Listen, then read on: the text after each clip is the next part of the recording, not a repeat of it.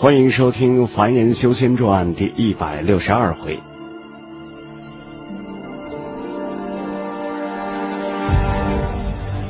看到韩立这一声啊，小王爷二人都呆住了。韩立回过头来，冲他们二人诡异的一笑，接着就双手同时一扬，刹那间，无数的大小火球从他手中争先恐后的涌了出来，暴风骤雨一样的密密麻麻打了过去，附近的天空都被染成了火红之色呀！这一幕可真将小王爷二人吓了一跳，急忙各放出了一件防御的圆盘法器挡在了身前。一连串震耳欲聋的爆裂之声噼噼啪啪的响个不停，将小王爷震得好一阵头晕目眩的。甚至因为火球的数量实在太多了，有几枚漏网之鱼直接打到了小王爷的身上，让其护体的黑气被炸得四散了不少。浑身狼狈不堪的小王爷是又惊又怒，他很清楚，这。绝对是大批的符箓一起发出，才能造成如此大的声势。好容易等到了这阵火球雨过去了，可身旁忽然传来一声惨叫之声，让其身形一抖之下，急忙侧身一看，结果呢是倒吸了一口凉气呀，眼中满是惊骇之色。只见原本啊站在他身旁不远的瘦干蒙面人。不知道何时，身上黑气尽散，浑身无力的被韩立滴在手上，而他的身体一侧鲜血淋淋，竟只剩下了一只手臂。这种情形让小王爷心惊的同时啊，真正产生了无法抵挡韩立的惧意，不由得暗骂那名血士的无用啊。韩立冰冷的望了小王爷一眼。就毫不客气的将手中蒙面人的面巾撕扯了下来，正是那位新王府的王总管。只是原本干瘦的面容，因为手臂的断落，扭曲的变了形。啊，不可能，不可能！你怎么擒下他的？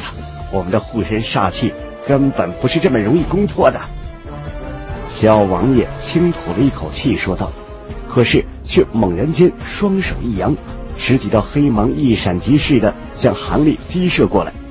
韩立木然的脸上突然露出了一丝讥笑之意，单手一扬，一件黑乎乎的盾牌一样的东西凭空出现在了身前。结果那些劲射的黑芒直接打到了上面，可除了发出一阵闷声之外，丝毫效果都没有出现。小王爷一惊之下，定睛细看，才发现呀，这件盾牌竟是一件十分巨大的龟壳。只是这龟壳通体黑而无光，应该是专门祭炼过的。看到这个景象，小王爷滴溜溜眼珠一转，身上黑光一瞬之下，整个人突然闪电般的倒飞了出去，然后一转身就想和其他逃掉的修士一样逃之夭夭。但是，身为要活捉的必要目标之一，韩立怎么会让其轻易的逃掉？身形一晃之下，韩立就轻易的出现在了小王爷的身前，并一抬手，一道数丈长的青色巨剑凭空出现，毫不客气的向小王爷迎头就是一斩呐。小王爷见此，却心中暗喜，哎，他的护体杀气可是。专污各种法器，根本不用理会此巨剑会伤了自己，反而呢，可借此机会掩护全力逃掉。想到这儿，鸡舍中的小王爷身形一升，人就想从韩立的头顶直接掠过呀！不能接，快躲！韩立手中的王总管强忍剧痛的大声喊道。试图呢提醒一下小王爷，哎呀，可惜呀，显然他的提醒有些晚了。听到这话，小王爷虽然下意识的身形一偏，想躲掉这青色巨剑的锋芒，但巨剑突兀的改劈为削，从其腿部轻轻一擦而过，他护身的黑气竟被一斩即散，丝毫作用也没有起到。结果呢，随着两只小腿轻飘飘的被削掉之后，小王爷大叫了一声，当场昏了过去。这位爷从小锦衣玉食惯了，即使说心计过人，但也没吃过什么苦头啊，虽然无法忍受这断腿的剧痛啊。不过这情景倒让韩立吓了一跳，还以为清源剑芒长时间不用。失手挂掉了对方呢。等弄明白怎么回事之后，韩立又好气又好笑的一把提了起此人，向蒙山寺友飞去。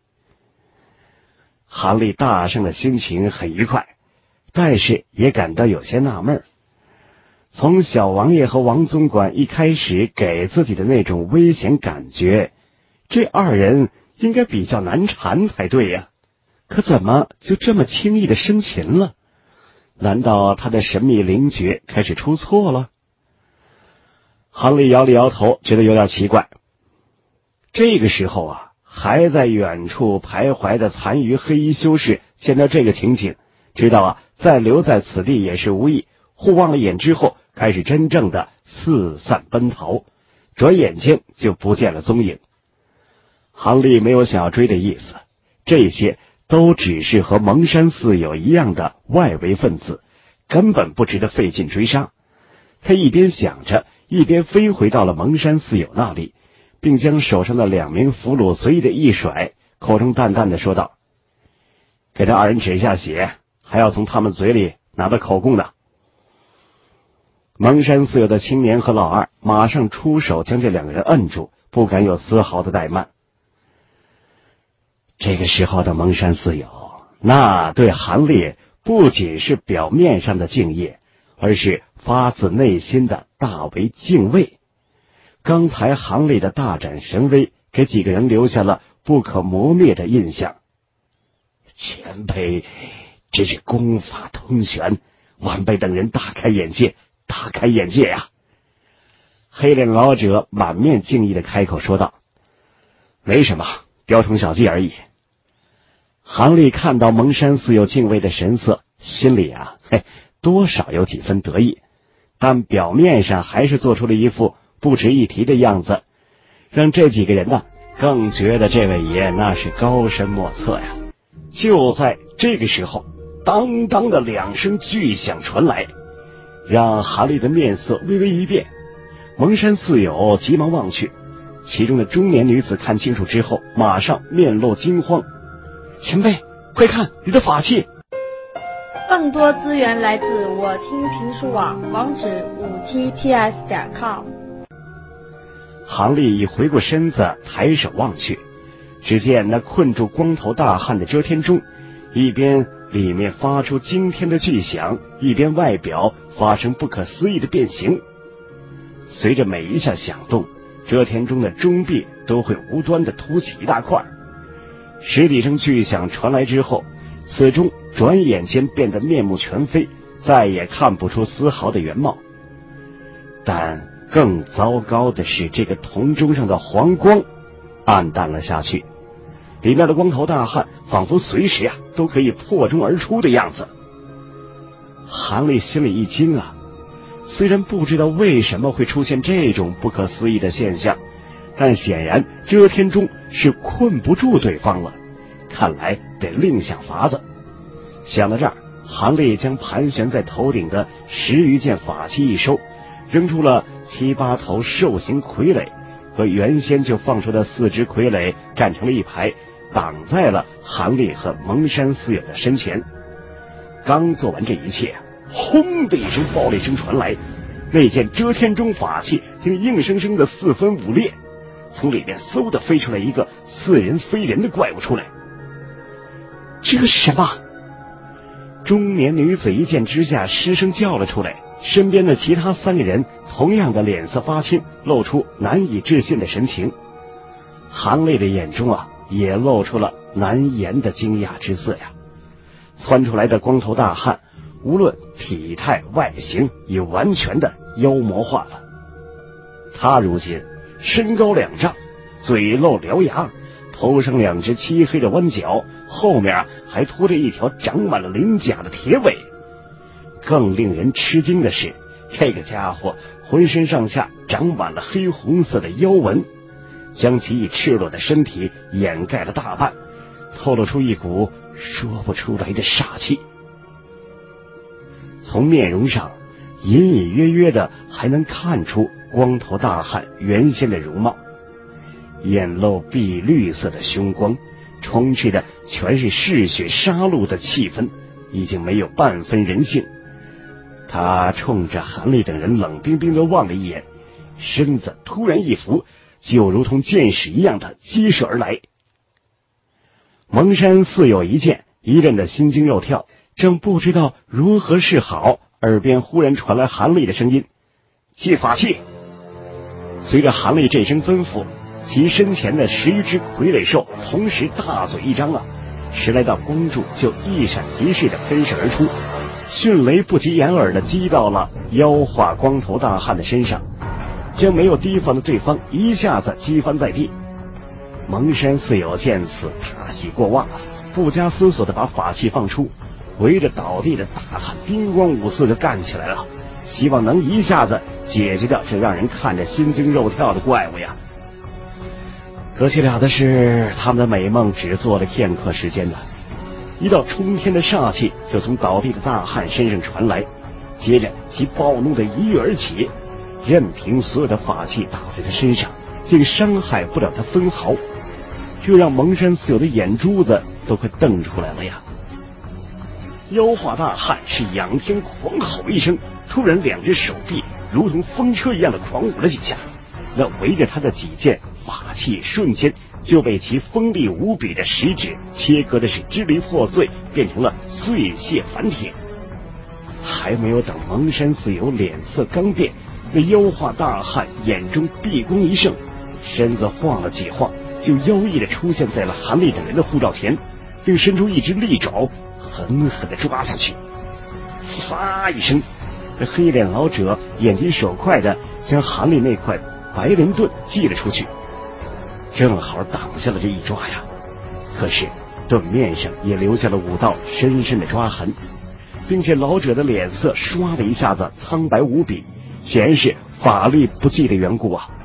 见到此景，大汉狞笑一声，那只爪子呢也闪电般的向盾牌抓了下去。可他马上脸色一变，猛一收爪缩身，两只胳膊交错成十字形，横在了身前。与此同时，第二次光柱的攻击到了他跟前了，再次结结实实的打在了他的身上。不过这一次，有了防备的妖化大汉并没有被击倒在地，只是硬生生的被这强大的冲击击退了十几丈远了，让只剩下一抓的黑脸老者总算。缓过了一口气儿，并略擦了一下额头的冷汗，紧张的对其他三个人说道：“对方攻势太凶猛了，一个人的法力接不了几下的，大家合力驱使这盾牌。”听到自己大哥这话，蒙山四友中剩下的人毫不迟疑的将一只手同时搁置在了老者的肩上，然后让体内的灵力缓缓注入其内。黑脸老者的面容瞬间恢复了血色，大汉所化的妖物一连两次都没有建功，显得更加暴躁了。一等兽傀儡的光柱消失，他马上就张牙舞爪的再次冲上，但同样的被白灵盾挡了一下，接着被光柱击回了原处。看到这一幕的韩立紧皱起双眉呀，这怪物啊，太厉害了！竟然连遮天钟都能抓破，身体还能抵挡住兽傀儡的光柱攻击，可见普通的顶级法器对他绝对没有什么效用，只有动用符宝了。想到这儿，韩立不再犹豫的冲着蒙山四友吩咐道：“你们暂时和傀儡兽坚持一下，我需要点时间来施法。”说完这话，韩立不等几人回答。就从储物袋中摸出一张青蒙蒙的符箓，双手捧着，郑重盘膝坐下，闭目运动起来。韩立并没有直接说符宝之事，因为他很清楚呀，凭他们几个散修的身份，多半还不知道这符宝是什么东西，而现在又不是解释的时机呀。他如此干净利索的做法，说明韩立根本不容蒙山四友反对。这一点呢，蒙山四友也很清楚，只是互相望了一眼之后，就由黑脸老者硬着头皮答应了一声。接下来，妖化大汉一连七八次的纵身突击，但每次都灰头土脸的无功而返。韩立的那件白灵盾虽然被对方抓的是伤痕累累，但总算在蒙山四友的驱使之下，挡住了那双碎玉断金的利爪。然后，那十一只兽傀儡的光柱攻击会立即将其击退一定距离，不容妖化大汉连续攻击，总算让蒙山四友有了一些喘息之机呀。韩立凭借筑基中期的修为，催动起符宝可比练气期的时候快多了。片刻之后，他手上的青色符箓就在一声清鸣中化为了一把青色的玉尺。有数寸大小，小巧玲珑，灵光流动。而这个时候啊，蒙山四友的法力也到了极限喽。在妖化大汉气势汹汹的一抓之下，白灵盾如遭重锤一样的倒飞了出去。这几人当即尾顿了下来，同时面容变得灰白无比。前辈，快点儿！黑脸老者已瞅见了韩立这边的福宝异象。不禁焦急的催促起来。韩立呢，没有时间理会这个老家伙，而在看到妖化大汉被光柱击退之后，就立刻将全身灵力往玉尺内狂注了进去。刹那间呐，手上漂浮的小尺发出了耀眼的青芒，瞬间由一分二，由二分四，再由四分八，眨眼间呢，就幻化出了数百把同样的小尺出来。每把小尺发出了嗡嗡的轰鸣声，围绕在韩立四周，不停的抖动个不停。这惊人的一幕让蒙山四友看的是张嘴结舌，以为中了幻术，几乎是不敢相信自己的眼睛啊！韩立没有丝毫的耽搁，脸色肃然的往那妖化大汉一指，顿时密密麻麻的小尺如同决口的洪水一样，浩浩荡荡的激奔而去。光头大汉妖化之后，虽然神志有些不清的样子，他面对行里的福宝攻击，似乎意识到了什么不妙，脸上浮现了畏惧的神色，竟突然红光一现，整个人如同流星一样的向后狂驰而去，其速度之快，绝不在神风舟之下。见到此景，韩立一愣，微一犹豫，对方就跑出了百余丈的距离呀。只能遥遥望见其逃窜的背影，叹了一口气，韩立没有再去追，而是用手一点，将那玉尺符宝招了回来，重新汇聚成了青色的符箓，飘落在手中。不是他不想免除后患，好告全功，而是这玉尺福宝所剩的威能实在不多了。若长时间和对方追逐纠缠下去，韩立可不知道能否撑得了这么长久。而活口已经到手了，这人做事啊，还是稳妥一点比较好。蒙山四友见那劲敌竟被韩立吓退，也心里一松，互相搀扶着站了起来。韩立看见几个人的面色实在不好看。就一想之下，从储物袋中掏出了一个小药瓶，抛给了几个人。每人一颗服下，对你们的伤势很有益处。不管怎么说呀，这几个人在今天的战斗中还是帮上了忙，他自然要有所表示，这样呢，才可让这几个人知道自己不是刻薄之辈。果然，蒙山四友面露感激之色，由黑脸老者恭敬的拿过小瓶。轻轻一倒，四颗龙眼大小的药丸出现在手心里，颜色火红，药香扑鼻呀！只闻了一下，就让人精神大振。老者可是经验老道之人呐，立刻惊喜的知道这个药是珍贵至极呀，连声向韩立道谢之后，才和其他几个人服用了下去。药丸刚一入肚啊，立刻就化为了一股热流，分散到了身体各处，让几个人马上就觉得，哎，这伤势大轻，心中更是欢喜之极呀。我们走吧，这里不是久待之地，黑煞叫来的援兵就麻烦了。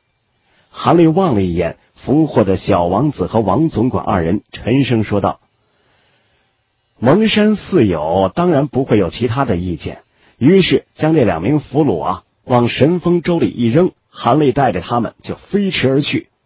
破庙的上空再次恢复了平静，谁也看不出此地曾经发生过一场激烈的修仙者大战。欲知后事如何，欢迎各位继续关注收听《凡人修仙传》第一百六十三回。